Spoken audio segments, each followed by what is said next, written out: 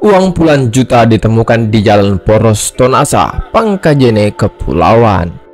Dalam video tampak uang pecahan 50.000 dan 100.000 berserakan di jalan.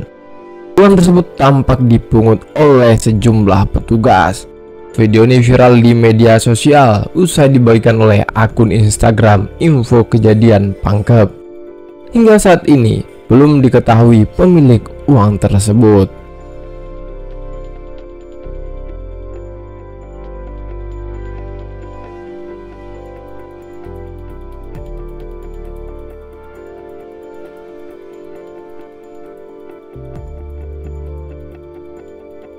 Orang naik motor deh yang pakai motor Supra. Motor Supra